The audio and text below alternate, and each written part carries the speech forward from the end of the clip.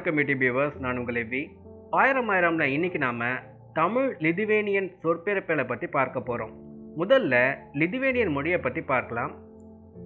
Lithuanian மொழி Lithuania என்ற நாட்டில் பேசப்படும் மொழியாகும். இம்மொழி பேசுபவரை லிதுவேனியர்கள் என்று அழைக்கின்றனர். லிதுவேனியன் மொழி லிதுவேனியா மற்றும் யூரோப்பியன் யூனியன்ல அஃபிஷியல் மொழியாக உள்ளது. போலாந்து நாட்டில் சிறுபான்மை மொழி என்ற தகுதியும் பெற்றுள்ளது. லிதுவேனியன் மொழி ஒரு பால்டிக் மொழியாகும். இருபத்தெட்டு லட்சம் மக்கள் லிதுவேனியன் நாட்டில் லிதுவேனியா மொழியை பேசுகிறாங்க ரெண்டு லட்சம் மக்கள் பிற நாடுகளில் பேசுகிறார்கள். லிதுவேனியன் மொழியுடன் தொடர்புடைய மற்றொரு மொழி லாட்வியன் மொழியாகும். லிதுவேனியன் மொழியை தற்போது லத்தீன் எழுத்து முறையில் எழுதுகிறார்கள். இந்தோ ஐரோப்பியன் மொழிகளிலேயே மிக பழமையான மொழியாகவும் தனித்து நிற்கும் மொழியாகவும் லிதுவேனியன் மொழி திகழ்கிறது. இந்தோ ஐரோப்பியன் மொழிகளிலேயே மிக பழமையான வாழும் மொழியாகவும் லிதுவேனியன் இருக்கிறது. பால்டிக் மொழி குடும்பத்தில் கிழக்கு பால்டிக் மொழிகளாக லிதுவேனியன் மற்றும் லாட்வியன் மொழிகள் மட்டுமே மிஞ்சியுள்ளன. இந்த குடும்பத்தில் இருந்த ஓல்டு புருஷியன் மொழி பதினெட்டாம் நூற்றாண்டில் அழிந்து போனது. அடுத்து லிதுவேனியன் மொழி பேசப்படும் லிதுவேனியா நாட்டை பார்ப்போம். லிதுவேனியா நாட்டை ரிப்பப்ளிக் ஆஃப் லிதுவேனியா என்றும் அழைக்கின்றனர். பால்டிக் கடலின் கிழக்கு கரையில் இந்நாடு உள்ளது. லிதுவேனியா நாட்டோட வடக்கு பகுதியில் லாட்வியா நாடும் கிழக்கு மற்றும் தெற்கு பகுதிகளில் பெலாரஸ் நாடும் தெற்கு பகுதியில் போலந்து நாடும் தென்மேற்கு பகுதியில் ரஷ்யா நாடும் எல்லைகளை பகிர்ந்து கொள்கின்றன. லிதுவேனா நாட்டில் இருபத்தெட்டு லட்சம் மக்கள் இருக்காங்கன்னு நம்ம ஏற்கனவே பார்த்துருப்போம். இந்த நாட்டின் தலைநகரம் வில்னியஸ் ஆகும். லிதுவேனியர்கள் பால்ஸ் என்ற இனக்குடும்பத்துடன் சேர்ந்தவர்கள் ஆவர். லிதுவேனியாவின் மூன்றில் ஒரு பங்கு காடுகளாக உள்ளது. இங்கு நிறைய சரணாலயங்களும் உள்ளன. மூவாயிரம் ஏரிகளும் இங்கு இருப்பதாக தெரிகிறது. லிதுவானியா நிலப்பரப்பில் ஐம்பத்தி நாலு விழுக்காடு நிலப்பரப்பு வேளாண்மை நிலமாக இருக்கு.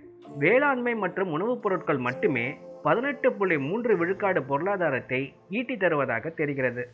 ஐரோப்பாவில் உள்ள சுற்றுலா செல்லும் நாடுகளில் லிதுவானியாவும் ஒன்று. ரெண்டாயிரத்தி பதினாறாம் ஆண்டு மட்டும் பதினைந்து லட்சம் மக்கள் லிதுவானியாவிற்கு சுற்றுலா வந்ததாக தெரிகிறது. இது அந்த நாட்டின் ஜிடிபியில் ஐந்து புள்ளி மூன்று விழுக்காடு ஆகும். இப்போ நம்ம சொற்பிறப்பிலுக்கு வருவோம். நாம் இன்னைக்கு முதல்ல பார்க்க போகிற லிதுவேனியன் சொல் நாம் முன்னமே பார்த்த சொல் தான். லிதுவேனியன் மொழியில் கல்னாஸ் என்ற சொல் மலையை குறிக்கும் சொல்லாகும். இதை லாட்வியன் மொழியில் கல்ஸ் என்றும் அழைக்கின்றனர்.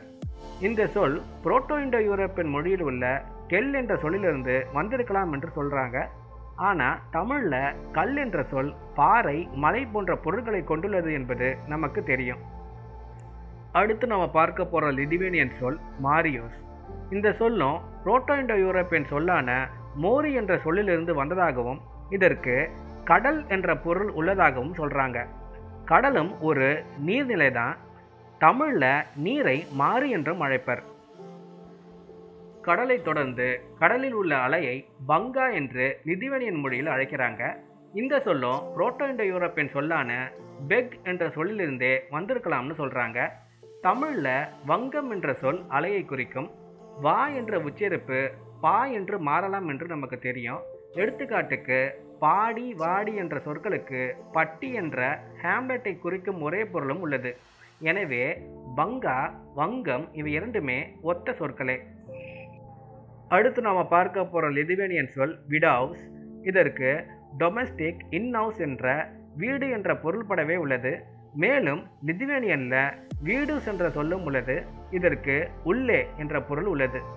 இந்த சொல் வீடு என்ற புரோட்டோ இண்டோ யூரோப்பியன் சொல்லிலிருந்து வந்திருக்கலாம் என சொல்கிறாங்க இதற்கு டு டிவைட் இல்லையேல் உட்டட் என்ற பொருள்களாம். அதாவது பிரித்தல் இல்லையேல் மரத்தாலானது என்ற பொருள்கள். ஆனால் தமிழில் வீடு என்ற சொல்லே உள்ளது.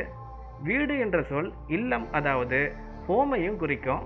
இல் என்ற பொருள் இல்லறம் என்ற அகம் அதாவது உள்ளம் உள்ளே என்ற பொருள்களையே குறிக்கும். நாம் ஏற்கனவே தமிழில் உள்ள சுவைகளை பார்த்துருப்போம். லிதுவேனியன் மொழியில் கண்டு சென்ற சொல் ஆஸ்டின்ஜென்ட் அதாவது துவர்ப்பு பிட்டர் அதாவது கசப்பு பஞ்சன்ட் அதாவது கார்ப்பு போன்ற சுவைகளை குறிக்கின்றது. தமிழில் கடு என்ற சொல்லுக்கும் கசப்பு கார்ப்பு மற்றும் துவர்ப்பு போன்ற பொருட்கள் உள்ளதால் கண்டுஸ் மற்றும் கடு இவை இரண்டுமே ஒரே மாதிரியான சொற்களே. அடுத்து நாம் பார்க்க போகிற லிதுவேனியன் சொல் வசி. இதற்கு ட்ராக் அதாவது பாதை என்று பொருள். தமிழில் வழி என்ற சொல்லுக்கும் பாதை என்ற பொருளே உள்ளது. எனவே வசி வழி இவை இரண்டுமே ஒரே மாதிரியான சொற்களே. லிதுவேனியன் மொழியில் பேர்கெல்ட்டு என்ற சொல் டிஸ்பிளேஸ்ட் அதாவது இடம்பெயர்ந்த இல்லையேல் புலம்பெயர்ந்த என்ற பொருளை தருகிறது. பேர்கெல்ட்டு என்ற சொல்லிலேயே பேர் என்ற பெயர்தலை குறிக்கும் தமிழ் சொல் உள்ளது. தமிழில் பெயர் என்ற சொல்லுக்கு இடமாற்றம் அதாவது டிரான்ஸ்ஃபர் மைக்ரேட் என்ற பொருள்கள் உள்ளன. பெயர் பெயர்க பேர்கெல்ட்டு என்ற சொற்கள் எல்லாம் ஒரே மாதிரியான சொற்களே. அடுத்து நாம் பார்க்க போகிற லிதுவேனியன் சொல் எய்தி இந்த சொல்லுக்கு டு கோ அதாவது போதல் இல்லையேல் டு வாக் அதாவது நடத்தல் என்ற பொருள்கள் உள்ளன. இந்த சொல் எய்தி என்ற புரோட்டோ இண்டோ யூரோப்பியன் சொல்லிலிருந்து வந்திருக்கலாம்னு சொல்கிறாங்க தமிழில் எய் என்ற வினைச்சொல் டிஸ்சார்ஜ் அதாவது ஏவுதலை குறிக்கின்றது. ஒரு அம்பு எய்யப்படும் போது அது காற்றில் நகரும். நகர்தல் போதல் இவை எல்லாம் ஒரே பொருள் தரவே எய்தி மற்றும் எய் என்ற சொற்களும் ஒத்த சொற்களே. லிதுவேனியன் மொழியில் மெடூஸ் என்ற ஒரு சொல் உள்ளது. இதற்கு ஹனி அதாவது தேன் என்று பொருள். இந்த சொல்லும் மெடு என்ற புரோட்டோ இண்டோ யூரோப்பியன் சொல்லிலிருந்தே வந்ததாக அறியப்படுகிறது. ஆனால் தமிழில் மது என்ற சொல் கல் என்ற நிக்கரை குறிக்க பயன்பட்டாலும் மது என்ற சொல்லுக்கு அமுதம் தேன் போன்ற பொருள்களும் உள்ளன. எனவே மது மெடு மெடூஸ் இவை அனைத்துமே ஒரே மாதிரியான சொற்களே. நாம் இன்னைக்கு பார்க்க போகிற கடைசி லிதுவேனியன் சொல் அங்கா. இந்த சொல்லுக்கு அப்பர்ச்சர் என்று பொருள்.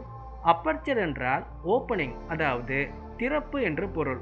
தமிழில் அங்காப்பு என்ற சொல் வாய் திறக்கை என்ற திறப்பையை குறிப்பதால் அங்கா அங்காப்பு என்ற இவ்விரண்டு சொற்களுமே ஒரே மாதிரியான சொற்களாகின்றன. மேலும் ஆங்கிலத்தில் அகேப் என்ற சொல்லுக்கு வாய் திறத்தல் என்ற பொருளும் உள்ளது. எனவே அங்கா அங்காப்பு அகேப் இவை அனைத்துமே ஒரே மாதிரியான சொற்களாகின்றன. இன்றைக்கி நம்ம பதிவில் லிதுவேனியன் மொழியில் உள்ள சில தமிழ் தொடர்பு சொற்களை பார்த்தோம். அடுத்த பதிவில் மீண்டும் சந்திப்போம். இப்படிக்கு உங்கள் எவ்வி நன்றி வணக்கம்.